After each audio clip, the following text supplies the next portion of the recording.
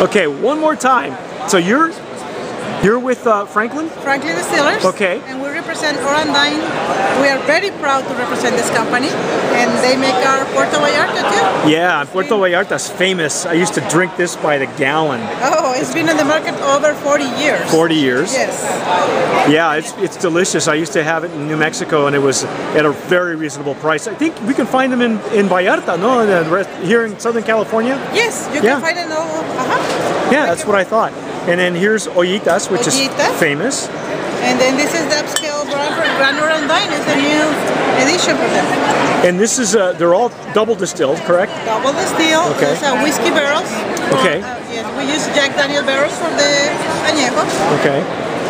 Terrific. Well, Maricela, we're going to have uh, the Orendain and Ollitas and Puerto Vallarta on our sipping off the cuff here real soon. Thank you again for being here, Sabor Latino. Thank you. Thank you for having me.